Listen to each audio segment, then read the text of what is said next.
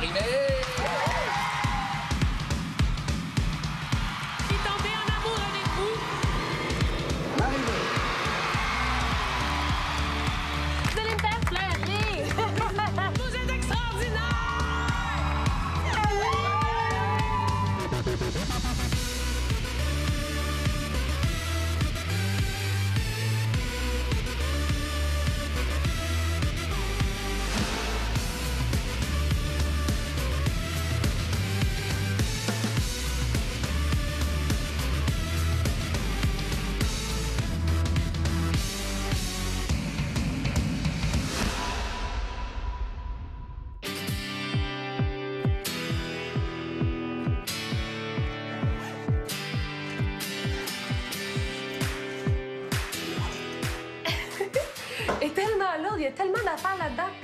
C'est que je suis sûre qu'il y a plein d'affaires que j'oublie pareil, tu sais. Tu l'apportes-tu, le micro? C'est tout ça, mon amour. Ah, C'est toi qui oublies les affaires, c'est pas moi. J'espère tellement que je oublié d'affaires. C'est vraiment drôle. Je qui cherche la lumière en pleine nuit. Moi, je vais chanter avec lui.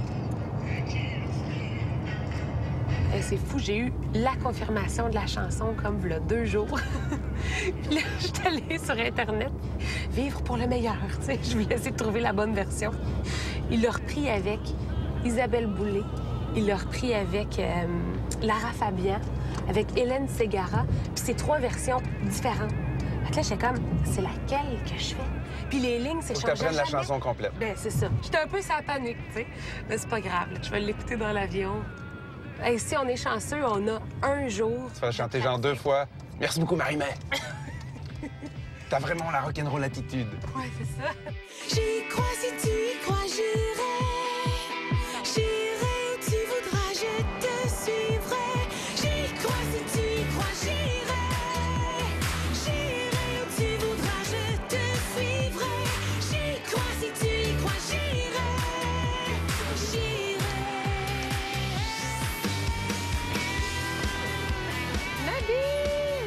Bah dis donc, j'ai cru que t'étais reparti à Montréal, ça fait longtemps que je t'attends. Ah, je suis contente de te voir. Ben, moi aussi, vas-y. T'es comme un baume sur mon jet lag à chaque fois. on va passer devant le Stade de France. Oui? Ben oui. Un bout du stade. Oh my God. Ah, c'est capotant. En fait, c'est là que se déroulent tous les plus gros concerts et les, matchs de, les grands matchs de foot. J'ai chaud, là. Il y a pas longtemps, Metallica ont joué ici, là, il y a un mois. Et dans- après, il y a les- il y, a les Red Hot et Madonna qui vont jouer ici. Voilà. Je vais rentrer dedans, là. I know. Je vais être sur la scène, tout. Je vais chanter mes chansons. C'est moi ah, ah, ah, ah, ah, qui est au Stade de France. Quoi, vous allez faire quoi au Stade de France? Je fais la première partie de, de Johnny Hallyday. C'est vrai? Attends un peu, pas? attends un peu. Ben Je non, peux- je savais pas. Je m'habitue jamais. Euh, Je, vais- je vais leur dire. Je fais la première partie de Johnny Hallyday. Elle a même chanté en duo avec lui.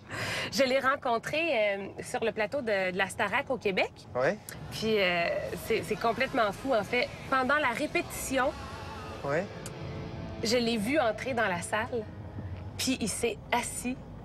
Puis il m'a regardé chanter, là, les bras croisés, là, comme ça. là. Puis j'avais vraiment l'impression que je passais à une audition, là, un casting. là.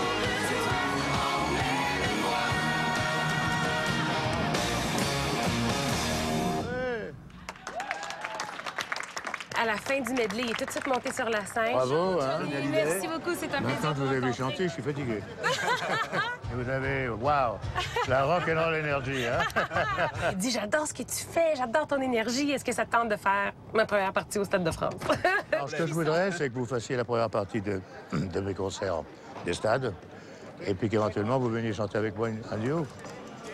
Ça serait bien. Wow. Je, je sais, Et je puis, sais en- pas quoi dire. et puis le public en France, ils adoraient ça. Ah, ben, wow. Hein? Je suis sans mots. Comme ça, là, demain. Et clic-clac, l'affaire est dans le sac. Ouais. J'étais bouche bée, j'étais comme. C'est quand même énorme, hein, le Stade de France. Hein. C'est c'est fou.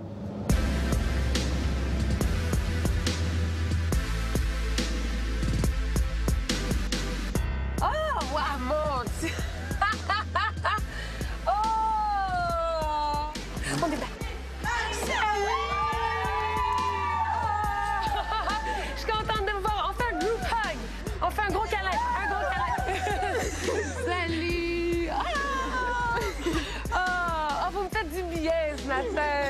Contente de vous voir. Ma seule raison d'être en France, là, c'est pour vous. C'est pour les gens qui me suivent depuis longtemps, qui m'encouragent, puis qui m'aiment pour qui je suis vraiment. Le reste, là, que mes singles jouent à la radio ou qu'ils jouent pas, là, ça m'importe même pas. Tant que, tant que vous, vous êtes là et que vous m'encouragez, là, c'est, ça vaut de l'or pour moi, honnêtement, pour vrai. Là.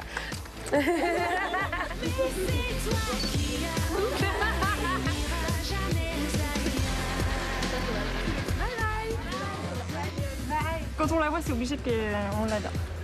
Elle est, très- elle est trop adorable.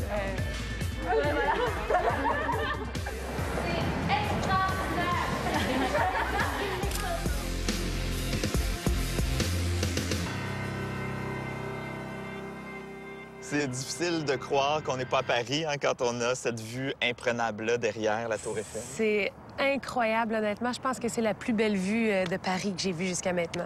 C'est pour toi. Ah, merci. Marimé, il y a un peu plus d'un an, tu mettais fin à ta tournée version 3.0 Centre Bell en annonçant là, je vais prendre une couple de mois relax pour me reposer, pour créer dans le calme. Finalement, comment s'est passée ton année sabbatique? Écoute, je me suis reposée, là. Écoute, je suis fraîche comme une rose. Veux-tu voir la liste des projets que tu as OK, fait? on y va. je les ai pour toi. Tu as enregistré Jetlag avec Oui. Simple Plan. Ensuite, Centre Bell, ton cinquième Centre Oui, cinquième. Il y a eu le gala de la disque, l'interprète féminine et spectacle de l'année. Je veux remercier toute ma famille, mes amis, mes fans. Vous êtes extraordinaires! Il y a eu la signature du contrat avec Warner. Et ensuite, il y a eu une campagne à l'échelle canadienne pour Annabelle. Vous avez aussi créé un nouvel album, Près de toi. Et finalement, l'OSM, concert symphonique.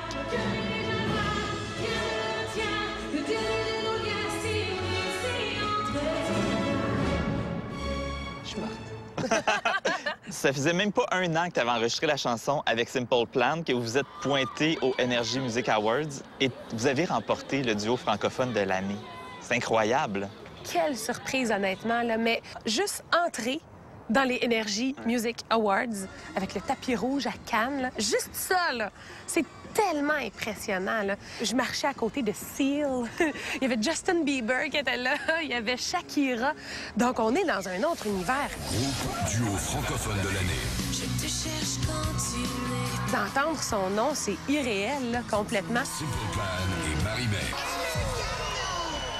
Ben, je pense que pour nous et pour elle, c'était un gros moment. On a- on a- c'est notre premier NRG Award pour nous autres aussi. Simple Plan.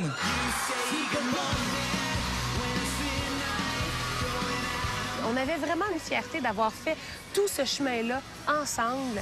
Canadien qui rafle tout. Moi, je voudrais remercier Simple Plan de m'avoir permis de rencontrer le public français. Merci, je suis tombée en amour avec vous. Ça a vraiment été un point marquant dans ta carrière parce que ça a ouvert les portes en France. Ça t'a redonné envie de conquérir la France. Est-ce que tu penses que tu leur en dois une bonne, finalement? Ben oui, je leur en dois une bonne, certain. Ils ont été tellement généreux, puis ça aurait été facile pour eux de prendre une chanteuse française déjà connue pour leur duo. Euh, parce que, bon, moi, en France, je suis pas connue, donc c'était vraiment un risque. Mais eux sont fiers d'où ils viennent, sont fiers de venir du Québec, puis ils ont vraiment voulu aller chercher quelqu'un de chez eux. Pourquoi pas le faire avec quelqu'un au Québec qui est au top, la, la chanteuse numéro un du Québec dans le fond. Puis on, on s'est dit que ce serait un, un match parfait. Nos fans apprécient beaucoup Marimé. Les fans de Marimé, je pense, apprécient Simple Plan. On a eu beaucoup de plaisir à faire des spectacles ensemble en France, de faire des shows au Québec aussi. Puis, euh, ouais, c'est comme mes grands frères. Le, le move de Marimé, on le fait tout ensemble. Un, deux, trois. C'est le saut Marimé. Elle embarque sur scène de cette façon, comme un, comme un, comme un guépard. Comme un cobra. You say good morning.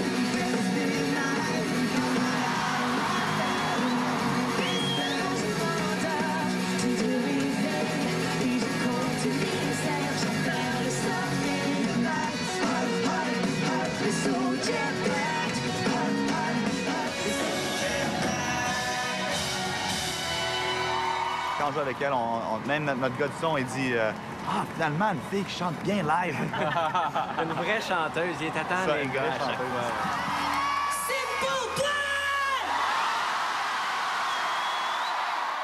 finalement, ton année sabbatique, ça a été trois jours. c'est- c'est là que tu t'es mariée. Oui. Ce qu'il y avait de, de plus magique, je pense, dans cette semaine-là, là, c'est qu'on s'est vraiment retrouvés, l'homme et la femme.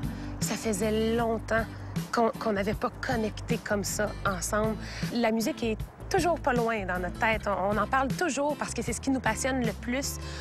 Mais là, pendant ce voyage-là, là, il y avait rien d'autre. Will you, Fred, have Marie May to be your wife? Yes, I do. And will you, Marie May, have Fred to be your husband? Yes, I do. By the authority vested in me, it's really my honor to pronounce you husband and wife. Congratulations, you may kiss your bride. Fred euh, m'avait composé un disque pour me demander en mariage. C'était trois chansons, puis cette chanson-là en faisait partie. C'était ma préférée, c'était celle qui nous décrivait le mieux. Cette chanson-là, c'est nous. For the first time, to be. It just doesn't feel temporary. For the first time, for the first time, I don't fear for my sanity. For the first time, it's just gonna be you and me. For the first time,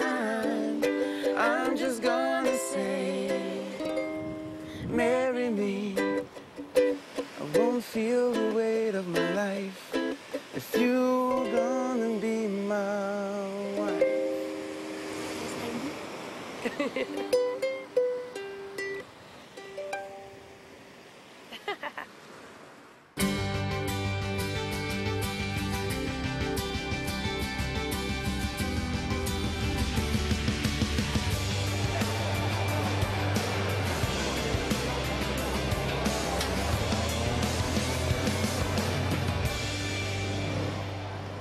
C'est pas la première fois que tu fais une offensive en France, mais j'aimerais ça savoir en ce moment, là, c'est quoi la situation de ta carrière ici?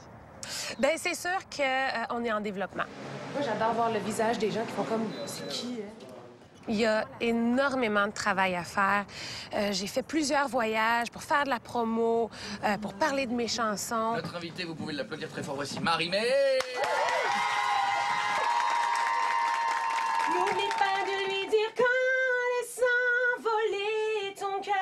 Elle trouvera l'amour ailleurs. Merci, merci. Ah, t'adores, mais merci beaucoup. Sans vachement bien.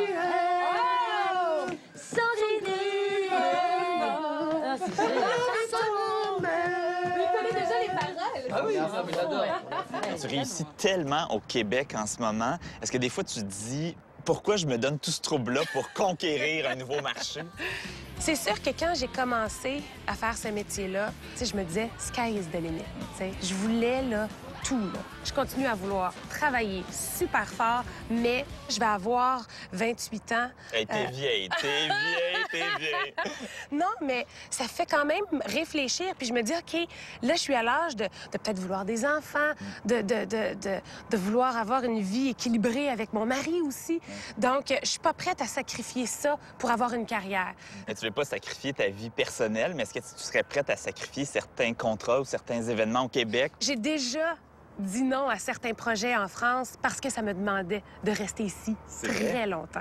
Puis Comme en quoi? fait, c'était euh, ben, c'était une comédie musicale. OK. Robin des Bois, puis on m'offrait le rôle de Marianne. Puis on m'a dit, bon, mais Marie-Mé, c'est toi qu'on veut. Il faudrait que tu restes en France au moins deux ans. Puis là, j'ai eu vraiment peur. J'ai eu peur parce que je voyais ma maison, je voyais le Québec, je voyais mes fans. Puis je sentais que si j'acceptais ce projet-là, je les abandonnais complètement. Puis je sais que peut-être que ma carrière aurait explosé, mais j'étais pas prête à sacrifier ce que j'ai au Québec pour faire ça. C'est tellement toi, là, comme décision. Je sais!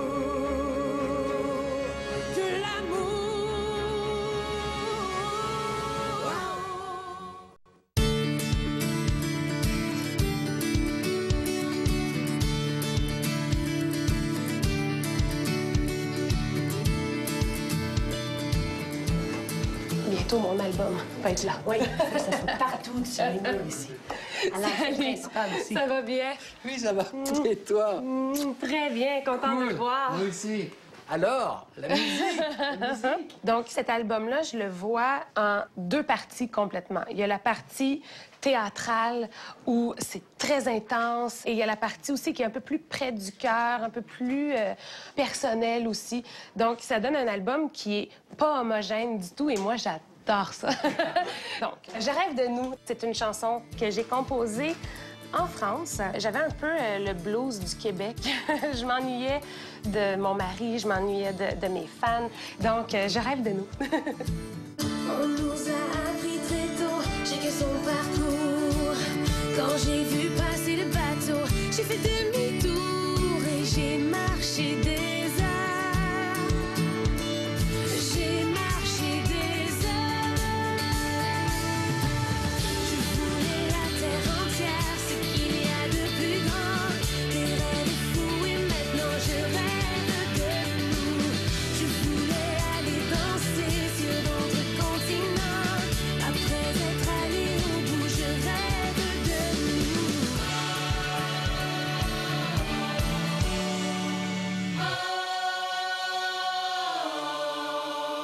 Puis ce que je trouve cool de cette chanson-là, c'est la phrase qui dit « Je marcherai des heures ». Moi, c'est vraiment ça que j'ai fait au Québec. J'ai travaillé tellement fort pour que ça fonctionne et j'ai vraiment euh, euh, monté vide, tranquillement pour atteindre...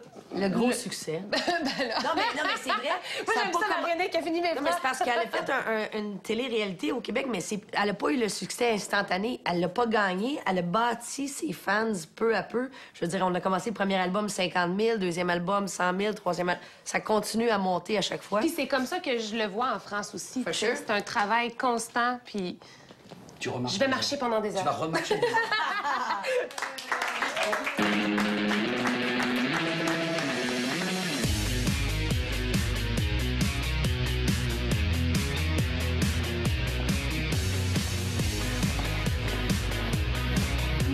l'invitation. hein. Ouais, c'est vraiment... prie, ça, euh, me, ça me fait plaisir, vraiment. Ça me je fait le plaisir prends que tu avec- sois là. Je le prends avec beaucoup d'honneur et je me suis pratiqué le duo. Ça va être Ouais? d'enfer. Ouais, ah bon? D'enfer. T'as vécu un moment qui était quasiment théâtral quand t'es entré dans le stade pour la répétition? Vraiment, c'est comme si c'était arrangé avec le gars des vues, là, honnêtement. là. Je suis entrée dans la salle, puis l'orchestre s'est mis à jouer Vivre pour le meilleur. C'était vraiment unique, puis j'y croyais pas, là. C'était comme dans mes rêves. Un bel endroit, hein? Hein?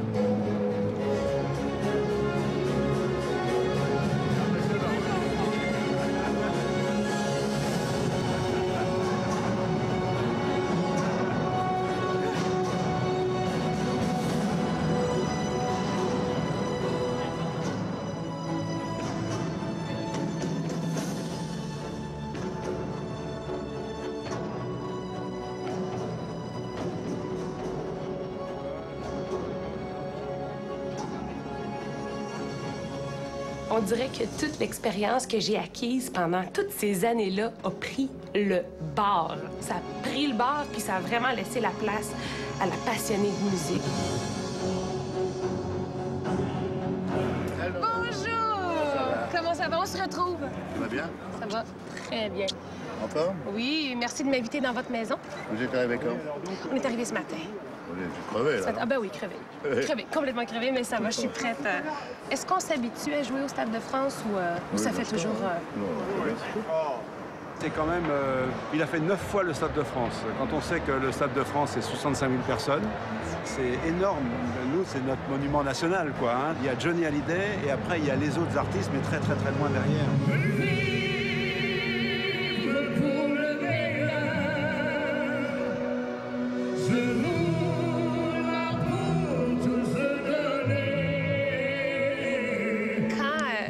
Devant quelqu'un qui est imposant, ça me donne le goût d'être à la hauteur. Tu sais, Je, je, je- je veux pas écraser, je veux, je veux prendre ma place.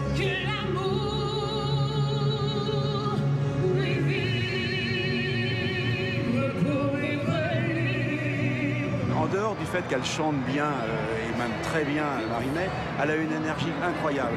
Et elle est rock'n'roll. Et c'est c'est ce qui lui plaît à Johnny. Que l'amour y a quelqu'un qui doit réussir en France, dans les artistes québécois, c'est bien Marie-May.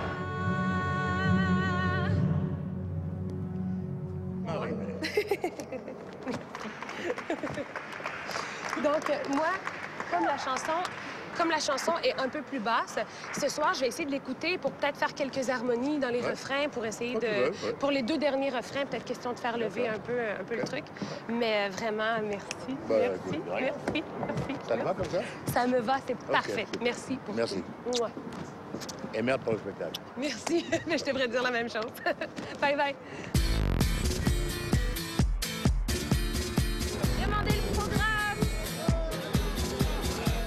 L'adrénaline, là, ça commence. On arrive avec France.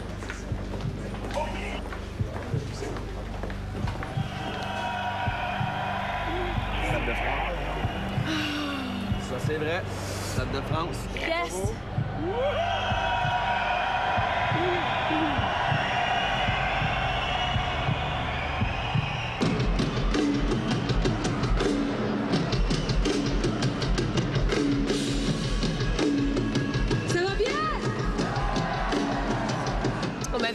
averti avant le spectacle là, que ça se pouvait que ce soit très, très froid parce que le public de Johnny vient voir Johnny. Il y avait même des gars là, en première rangée avec les cheveux en arrière, là, la coupe Johnny, là, blond bleaché. Là. Puis c'est ceux-là, en fait, qui avaient l'air de triper le plus. Je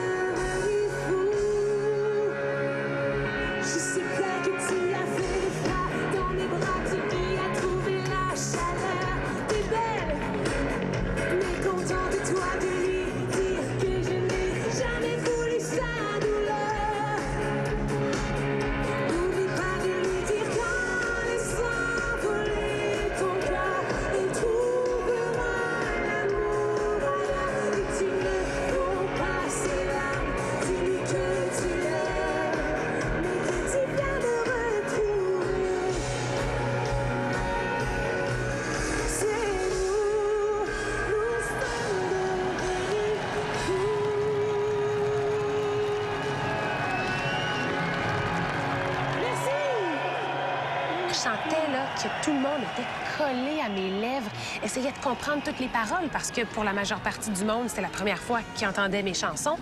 Donc je les sentais complètement à l'écoute, puis ça m'a vraiment mis en confiance. J'ai l'impression que les 30 minutes là, ont duré euh, 2 minutes 30.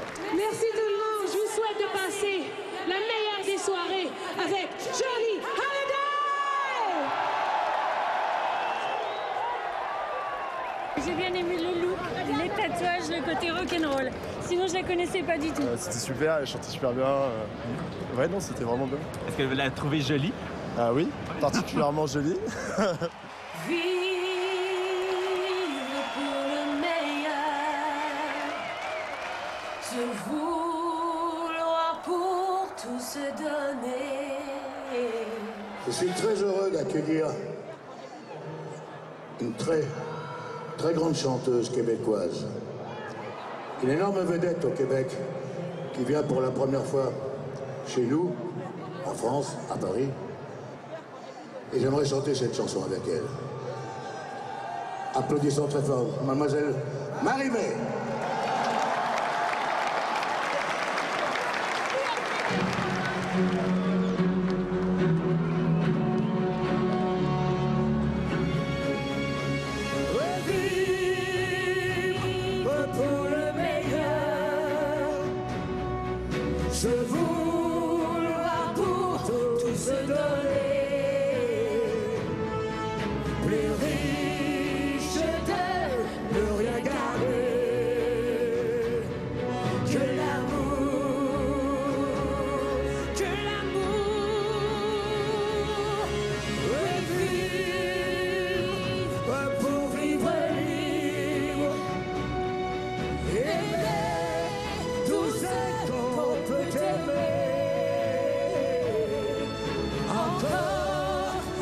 toujours l'amour.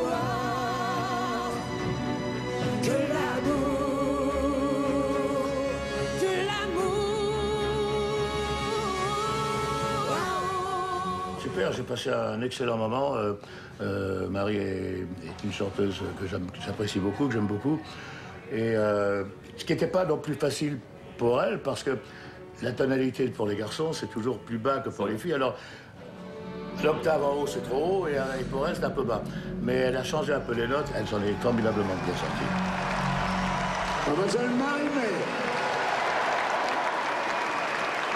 Merci Johnny pour ce magnifique cadeau. Merci. Passez une belle soirée. J'ai jamais vu un artiste avoir autant d'assurance. T'es à côté de Johnny Hallyday. Là, le stade est plein à craquer. Pour vrai, là, j'ai rarement été émue comme ça dans ma vie parce que j'ai trouvé qu'elle était à son niveau. là, Puis que c'est quelqu'un là, qui a 45 ans de carrière. là. Marie-Mé en a 10, mais elle était à la hauteur. Fait que ça- pour moi, là, ça m'a fasciné. Oh, vraiment. Génial. Bravo, bravo, bravo. Ta, ta vraie émotion. Aïe, aïe, je prenais des photos, j'enchaîne que je n'ai jamais J'ai tellement aimé ça. Mais on dirait que j'ai oublié que les gens étaient là. Hein. J'ai vraiment oublié que les gens étaient là. Je faisais juste les regarder puis vivre le moment avec lui. Puis je sais pas. je- Paraissait, t'étais dedans. C'était comme si ça avait fait... Ben, tu fais ça toute ta vie, là, mais...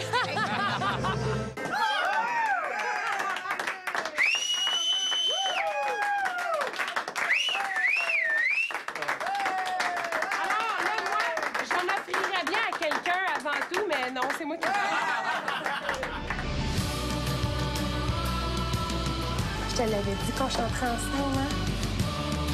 Vous allez me faire pleurer!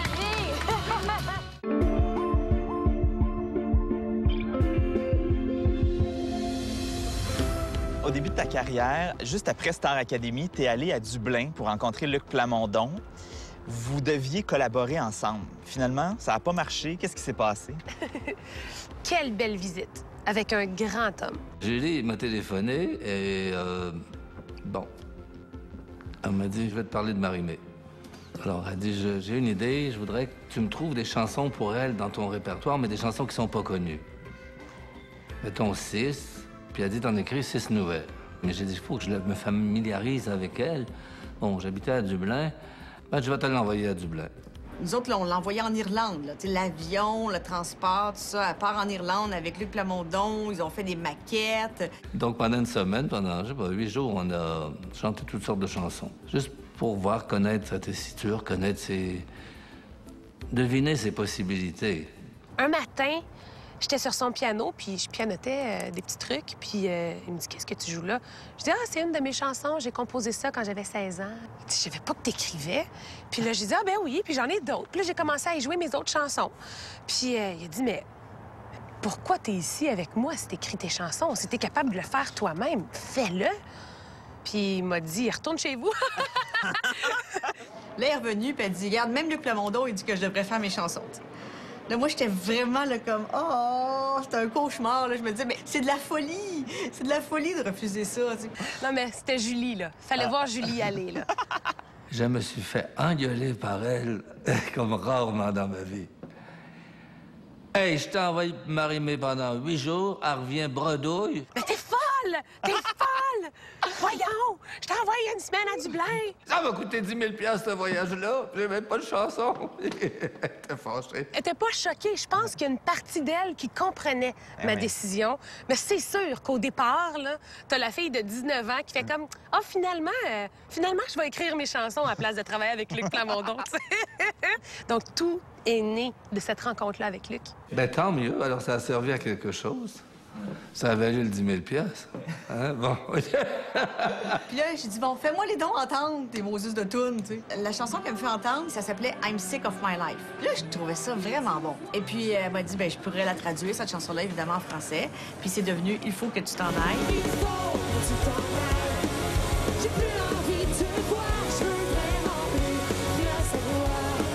là que j'ai vraiment fait comme, hey, c'est vrai qu'elle est capable d'écrire. C'est un moment magique.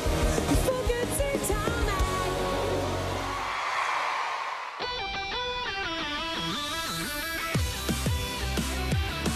Marie-Mé, bienvenue à Montréal. Ah, on est bien chez nous, à la maison! Tu vas lancer dans quelques temps ton quatrième album, Miroir. Est-ce que ça a été difficile de créer cet album-là en faisant des allers-retours assez fréquents entre Montréal et la France? Pour la première fois, moi et Fred, on a travaillé séparément. Euh, bon, des, fois, Fred m'envoyait des musiques en France. Moi, je travaillais les textes, je travaillais les mélodies de mon côté. Je revenais à Montréal, on faisait la finition des chansons ensemble. Puis, toutes les facettes de ma personnalité s'y retrouvent. La facette un peu plus vulnérable, le rock est là aussi, les chansons entraînantes, les sonorités électro. Donc, pour moi, c'est l'album parfait, c'est mon petit bébé. On enregistre des voix pour euh, Toujours là. Puis cette chanson-là, on sait pas pourquoi, ça, elle nous énerve vraiment. Vraiment. Je suis toute énervée en dedans. Je suis vraiment toute énervée. On chante-tu?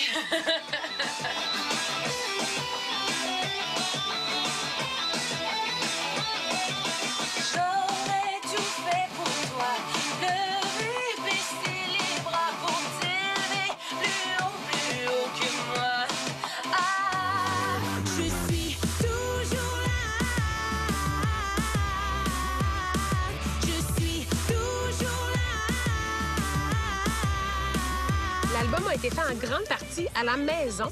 Puis je pense que ça a peut-être aidé à, à- développer le côté personnel de cet album-là. J'étais pas dans un studio, j'étais pas dans un endroit de travail, j'étais chez moi.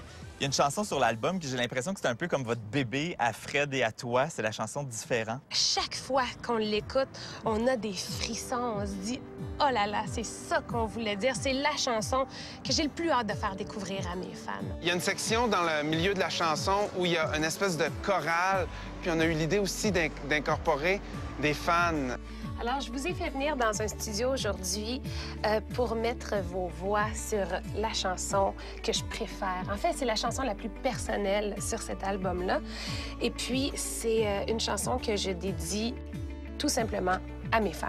Si moi, j'ai réussi à réaliser mes rêves, vous aussi, vous allez les réaliser, vos rêves. On est tous différents, puis on est beau comme ça.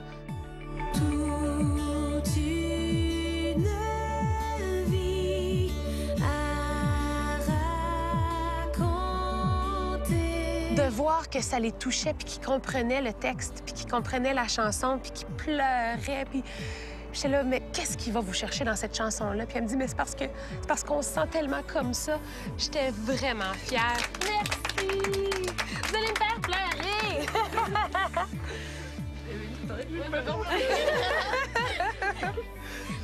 c'est vraiment important pour moi. Puis c'est important que vous mettiez vos voix, toutes et chacune, pour que pour qu'elle devienne un peu, euh, pour qu'elle devienne la vôtre aussi. C'est ma chanson, mais c'est votre chanson.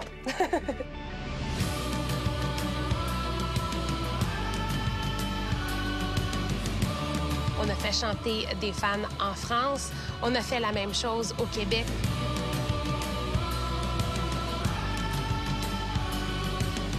C'était tellement cool. J'ai l'impression, on dirait que je l'ai même pas vécu. On dirait que je le réalise pas encore. Puis, euh, ben, c'est ça, un peu mon histoire. C'est vu que j'étais agoraphobique, j'étais pas capable de sortir de chez moi et tout ça. Puis à un moment donné, T'avais peur comme Ben, c'est, t'as peur, t'as peur de la foule, puis tout ça, pour te dire, j'étais même pas capable d'aller au centre d'achat tout seul, puis euh, des affaires comme ça. C'est quoi ton rêve? Tu voulais voir Marie-Mé en Ben, moi, je voulais, oui, je voulais aller la voir en spectacle, puis je me disais, jamais, jamais je vais être capable, puis tout ça, puis à un moment donné, je, je, je sais pas d'où est venue la force. J'ai acheté un billet, je suis parti en autobus voyageur tout seul de Trois-Rivières à Montréal. Je connaissais aucunement la ville de Montréal. J'étais allé au Club Soda, je me suis retrouvé à travers euh, la foule, puis tout ça. Te donner une idée, j'avais, j'avais 17 ans quand j'étais allé, puis euh, depuis j'avais à peu près 6-7 ans, je sortais plus de chez nous. Il était vraiment, vraiment fier de me dire que c'était le premier spectacle qu'il allait voir. C'est la première fois qu'il se déplaçait pour voir une chanteuse. Puis, euh, je me disais, wow, j'ai réussi à te faire passer par-dessus ta peur, par-dessus ta phobie. Puis, euh, puis ce gars-là, aujourd'hui, s'est fait tatouer mon visage, puis euh, le titre de mes albums. Puis aujourd'hui, ben. Ouais, j'étais à l'aise avec le public, puis euh, je vais, n'importe où. Fait que c'est vraiment grâce à elle. Je me trouve tellement chanceuse qu'il soit encore à mes côtés dix ans plus tard, puis euh, d'immortaliser ça sur un album, c'était vraiment très, très beau. Puis on a fait un tour aussi euh, à l'hôpital Sainte-Justine, on a fait chanter des jeunes là-bas. Comment ça va? Comment ça va? Oh! Je suis contente de te voir. Je te l'avais dit qu'on chanterait ensemble, hein? Est-ce que tu me croyais quand je te disais ça? Je tiens mes promesses, moi, hein? C'est quand on est allé à Star Academy que Marie-Mé lui avait dit à Flo, depuis ce temps-là, qu'elle était impatiente, qu'elle a hâte, qu'elle a hâte. Tu sais, j'ai une chanson qui s'appelle Qui prendra ma place, là. Je pense bien que ça pourrait être toi à un moment donné. T'aimerais ça? Faire le travail à Marie-Mé? Ben, en tout cas, ça commence aujourd'hui. Un, deux, trois, go!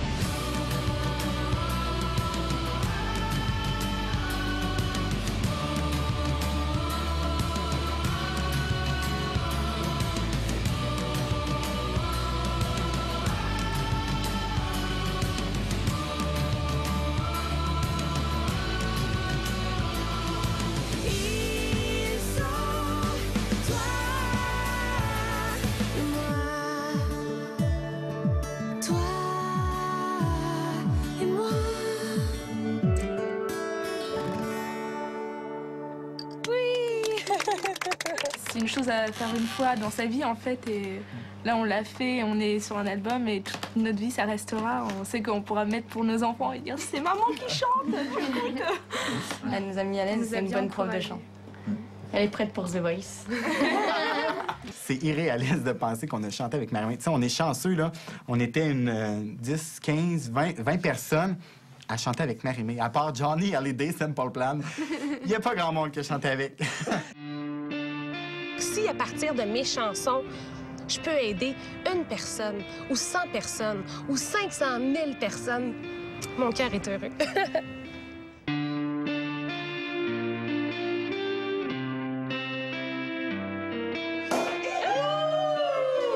Santé, Marie. Un miroir. Ah, enfin, vraiment, là. C'est comme irréel de sortir cet album-là. J'ai l'impression que ça fait trois ans qu'on travaille dessus, là. Moi, le bon Dieu, là, quand on lui a demandé est-ce que pour avoir d'autres talents à Marimé, tu sais, que chanter, j'ai dit non. non, non. non. Après-tu au, au moins être capable d'ouvrir des huîtres? Non, je t'ai dit. Mes chansons, c'est tout. Ma blonde appliquerait bien des napkins, mais elle a mal au pouce.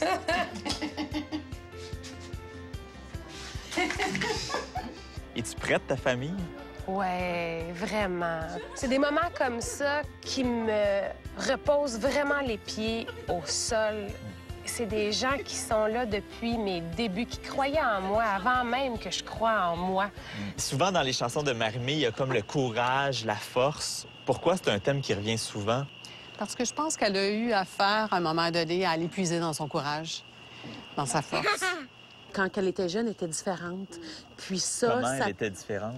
elle était différente dans son style, elle était différente en dedans d'elle aussi par son indépendance. Elle n'avait pas besoin de s'attacher à, un- à un groupe. Marie aussi a subi l'in- l'intimidation, puis je l'ai réalisé beaucoup plus tard. Tu sais, que on le réalise pas au moment où ça se produit, je pense. Tu sais, quand, quand quelqu'un entre pas dans la masse, c'est facile de le pointer du doigt. Puis j'en parlais pas énormément. J'en parlais pas. Je gardais ça pour moi. Je voulais pas que mes parents s'inquiètent. Quand on vit de l'intimidation, là, des fois, la seule chose qu'on a besoin, la seule chose qu'on cherche, c'est quelqu'un qui va nous dire T'es bonne. Je te comprends. Je suis là pour toi. T'es capable. Tu vas relever des défis. Tu vas les réaliser, tes rêves. Donc, si à partir de mes chansons, je peux aider une personne, ou 100 personnes, ou 500 000 personnes, mon cœur est heureux.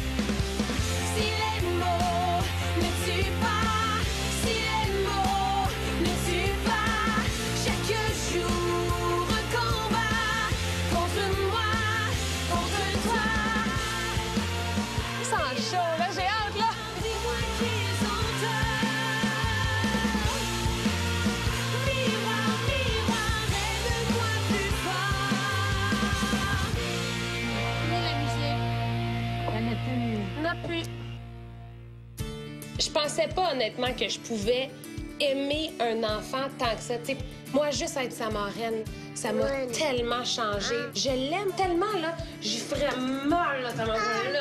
C'est un amour féroce. Oh non! C'est un amour féroce. Oh non. Oh non. Allez-vous être grand-mère bientôt, une deuxième fois? Je penserais que oui. Je penserais que oui. J'aimerais ça, j'aimerais ça. C'est sûr qu'on a envie d'avoir des enfants. C'est la prochaine étape, mais, mais ma carrière, c'est important aussi. Puis j'ai l'impression que j'ai encore plein de choses à dire à mes fans. Donc, d'ici euh, une couple d'années. On va certainement prendre un- une pause après ça pour, pour d'autres projets familiaux.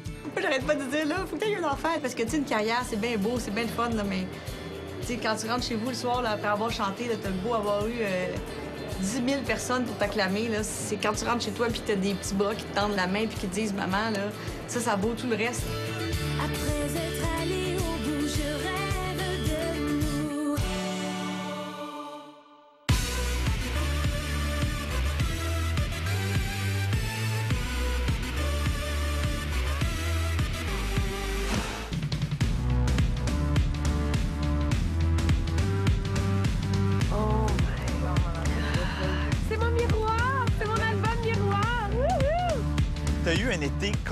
Fou. Il y a eu la séance photo pour la pochette de l'album. Il y a eu l'enregistrement du vidéoclip.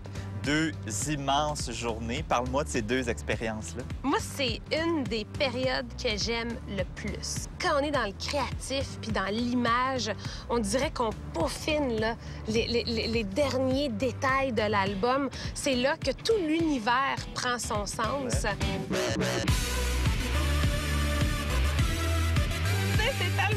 De voir des photos qui ont l'air complètement glamour, là, mais que j'ai un barbeau qui me saute dessus, j'ai une araignée qui devient ma meilleure amie. Pas des bébés. Ça commence. bien la chose. Est-ce que je vous ai dit que j'ai peur des bébites, moi? J'ai les pieds dans la boîte avec des talons. Ça n'a rien de glamour, mais le résultat est, écoute, parfait.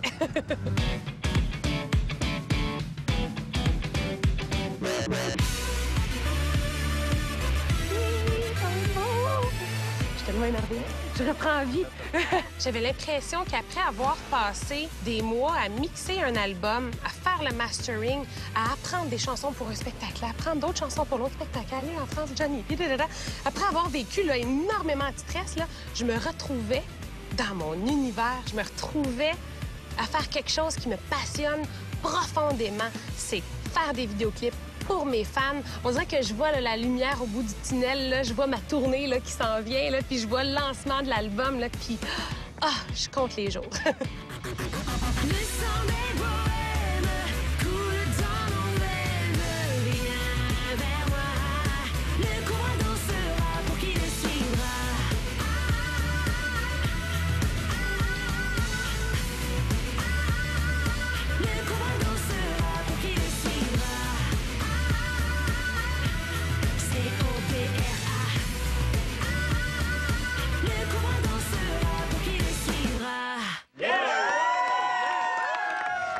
Tout ce qui nous reste à te souhaiter, c'est bon lancement. Merci de nous avoir permis de te suivre comme ça pendant plusieurs semaines. Ça a été un immense privilège. Ça m'a fait plaisir. Merci beaucoup. J'ai tellement. J'arrive pas à croire que ça s'en vient.